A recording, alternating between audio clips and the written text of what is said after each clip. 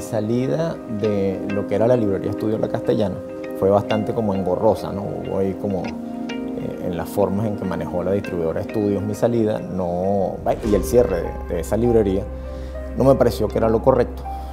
Y yo me desligo poco tiempo después de que se toma esa decisión. Eh, y siempre tuve como, como en, mente eh, independizarme o buscar gente que pensara igual que yo.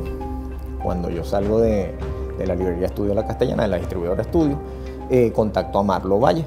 Le comento de que me interesa muchísimo unirme con gente que, quiera eh, trabajar con una librería, ofrecer lo que se ofrecía anteriormente en, la librería Estudio La Castellana. Y Marlo también ha tenido el interés de, de tener una librería eh, casi que al, mismo tiempo que la Fundación La Poeteca y él ya tenía esa, esa intención con Ricardo Ramírez.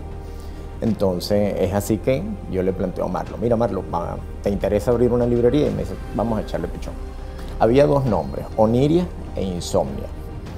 ¿Por qué esos nombres? Hay un, hay un poeta español que es músico, que se llama Santi Balmes.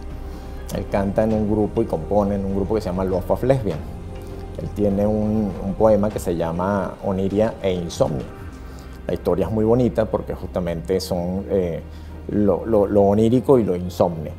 Eh, y bueno, yo dije, qué mejor nombre para una librería y utilizar un poeta que me inspira mucho, como Santi Balmes, y un músico que me inspira mucho, y decidimos entre los tres que quedara Insomnia. Entre Oniria e Insomnia preferimos, preferimos Insomnia, que es importante resaltar que la poeteca e insomnia somos hermanos, trabajamos dentro, eh, trabajamos, eh, vamos al unísono, pero somos dos cosas totalmente distintas. Yo pienso mucho en el lector y la oferta, lo que más me interesa es la oferta. ¿Qué oferta? ¿Qué quiero decir con oferta? Libros que no se consiguen en ningún lado.